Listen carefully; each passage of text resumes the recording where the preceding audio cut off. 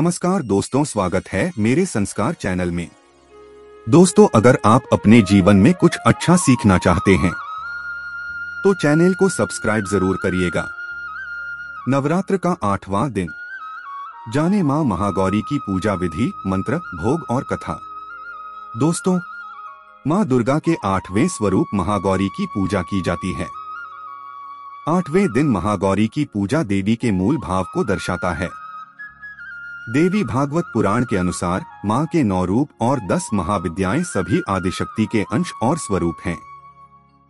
लेकिन भगवान शिव के साथ उनकी अर्धांगिनी के रूप में महागौरी सदैव विराजमान रहती हैं। इनकी शक्ति अमोघ और सदा फलदायिनी है। नवरात्र की अष्टमी तिथि को विशेष महत्व रखती है। क्योंकि कई लोग इस दिन कन्या पूजन कर अपना व्रत खोलते हैं। आइए जानते हैं कि माँ महागौरी के बारे में विशेष बातें। इस तरह माँ का नाम पड़ा महागौरी। दोस्तों, देवी भागवत पुराण के अनुसार देवी पार्वती का जन्म राजा हिमालय के घर हुआ था। देवी पार्वती को मात्र आठ वर्ष की उम्र में अपने पूर्वजन्म की घटनाओं का आभास हो गया था। और तब से ही उन्होंने भगवान शिव को पति रूप में प्राप्त करने के लिए तपस्या शुरू कर दी थी। अपनी तपस्या के दौरान माता केवल कंदमूल फल और पत्तों का आहार करती थीं। बाद में माता ने केवल वायु पीकर तप करना आरंभ कर दिया। तपस्या से देवी पार्वती को महान गौरव प्राप्त हुआ था। इसलिए उनका नाम महागौरी पड़ा। इस दिन दुर्गा सप्तष्टि के मध्यम चरित्र का पाठ करना विशेष फलदायी माना जाता है। दोस्तों, माता की तपस्या से प्रसन्न होकर भगवान शिव ने उनसे गंगा स्नान करने के लिए कहा। जिस समय माँ पार्वती स्नान करने गईं, तब देवी का एक स्वरूप श्याम वर्ण के साथ प्रकट हुई जो कौशिकी कहलाई और एक स्वरूप उज्जवल चंद्र के समान प्रकट हुआ जो महागौरी कहलाई।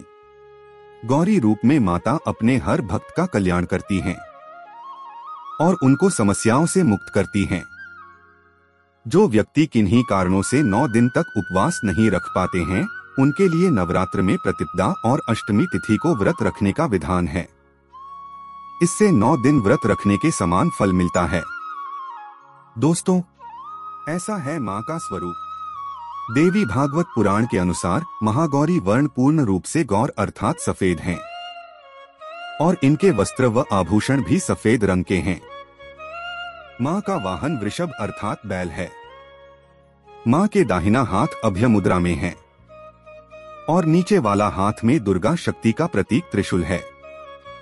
महागौरी के बाएँ हाथ के ऊपर वाले हाथ में शिव का प्रतीक डमरू है। डमरू धारण करने के कारण इन्हें शिवा भी कहा जाता है।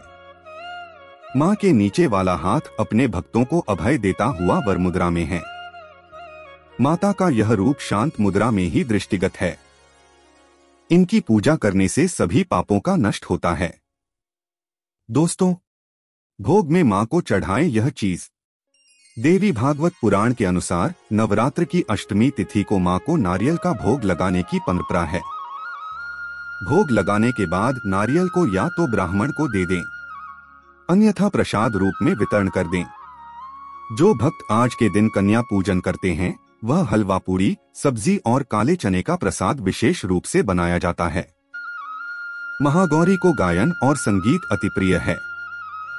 भक्तों को पूजा करते समय गुलाबी रंग के वस्त्र पहनना चाहिए। गुलाबी रंग प्रेम का प्रतीक है।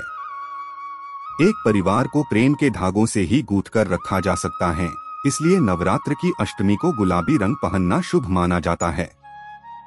पूजा करने से होती है सौभाग्य की प्राप्ति। दोस्तों, जो भक्त इस दिन कन्या पूजन करते हैं, वह माता को हलवा व चना के प्रसाद का भोग लगाना चाहिए। इस दिन कन्याओं को घर पर बुलाकर, उनके पैरों को धुलाकर पूजन करना चाहिए। रोली तिलक लगाकर और कलावा बांधकर सभी कन्याओं को हलाफ, पूरी, सब्ज़ी और चने का प्रसाद परोसें। इसके बाद उनसे आशीर्वाद लें। और समार्थ्य अनुसार कोई भेंट व दक्षिणा देकर विदा करना चाहिए।